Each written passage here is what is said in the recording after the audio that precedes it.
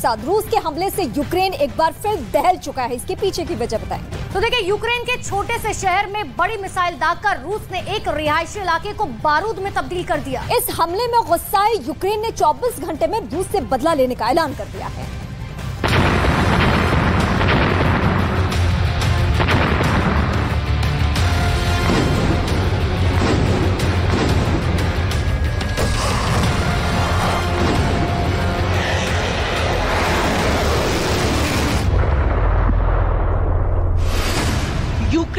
एक शहर एक बार फिर दहला।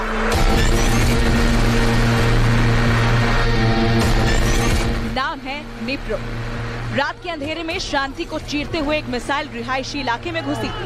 बिल्डिंग आग में तब्दील हो गई और देखते ही देखते ज़मीन में समा गई।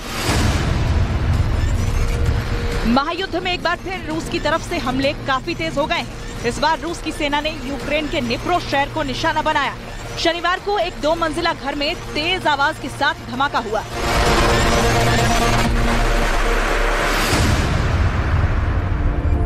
पश्चिमी मीडिया की रिपोर्ट के मुताबिक, इस हमले में पाँच बच्चों सहित 20 लोग जख्मी हो गए हैं और अब भी मलबे में कई लोगों के दबे होने का दावा किया जा रहा है।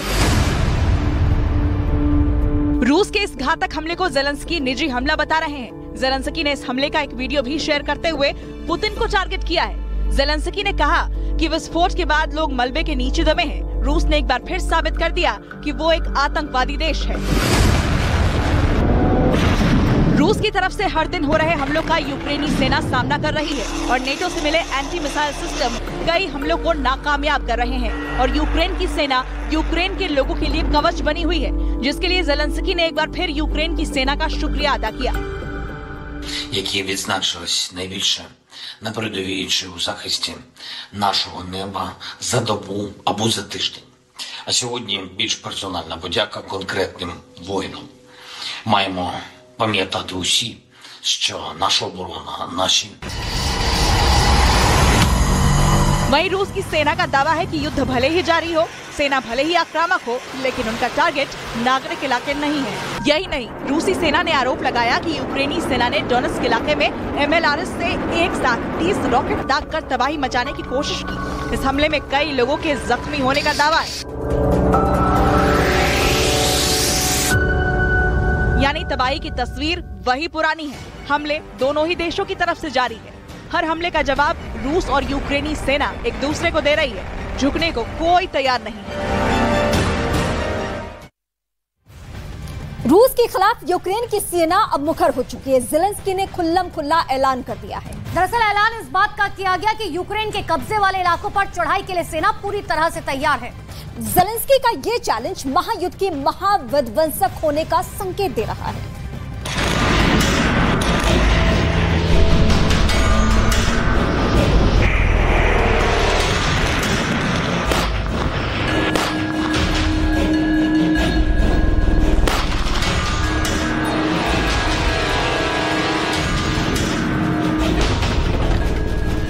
यूक्रेन में हमलों का सिलसिला ऐसा हो चला है कि अब कीव में राष्ट्रपति भवन के आसपास बम और मिसाइलें गिरने लगी।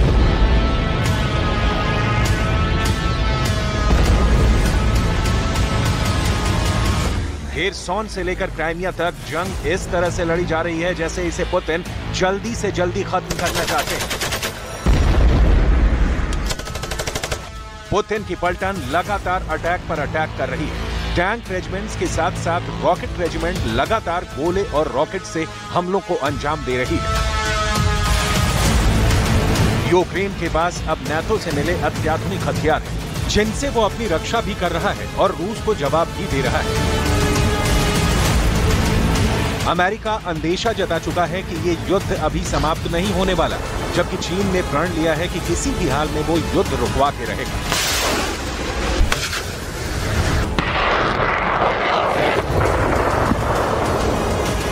लेकिन लगता नहीं कि ये युद्ध अभी रोकने वाला है, क्योंकि रूस लगातार इस युद्ध में नए हथियार उतार रहा है और कहीं ज़्यादा खतरनाक हथियारों से हमला कर रहा है। यहाँ तक कि ऐसे हथियारों का इस्तेमाल हो रहा है, जो अब तक इंसानी इतिहास में कभी भी, कहीं भी जंग में इस्तेमाल नहीं हुए थे।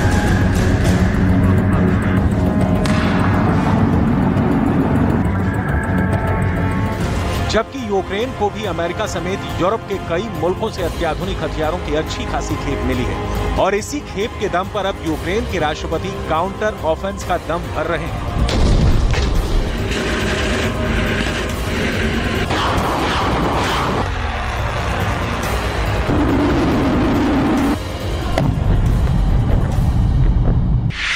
जेलेंस्की ने की बड़ी तैयारी।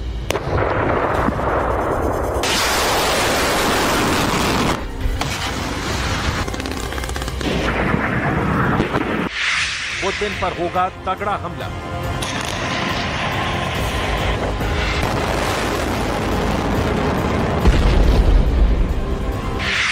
रूस का कब्जा हटाने की कसम।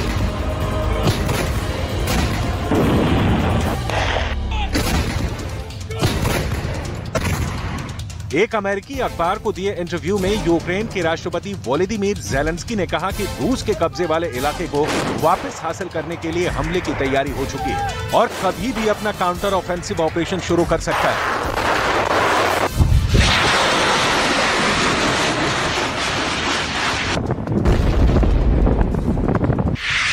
हम रूस के कब्जे वाले क्षेत्र पर फिर से कब्जा करने के लिए अपने लंबे समय से प्रतीक्षित जवाबी हमले को शुरू करने के लिए तैयार हैं। हम दृढ़ता से मानते हैं कि हम सफल होंगे। हालाँकि मुझे नहीं पता कि इसमें कितना समय लगेगा, लेकिन हम इसे करने जा रहे हैं और हम तैयार हैं।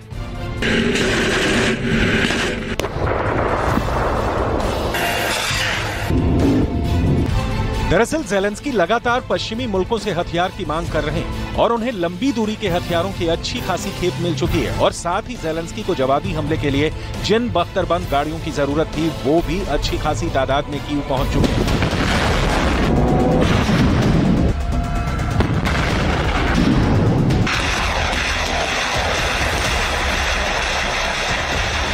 वहीं रूस के हमलों को रोकने के लिए रक्षा कवच के तौर पर अमेरिका, ब्रिटेन और जर्मनी से दुनिया के सबसे अच्छे माने जाने वाले एयर डिफेंस सिस्टम भी युद्ध के मैदान में उतर चुके हैं।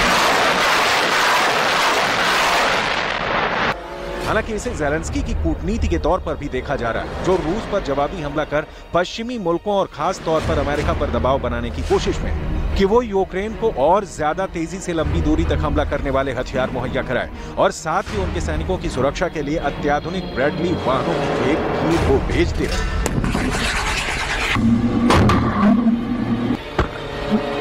Адам, які відзначились найбільше на передовій чи у захисті нашого неба за добу або за тиждень. А сьогодні більш персональна подяка конкретним воїнам. Маємо пам'ятати усі, що наша оборона, наші активні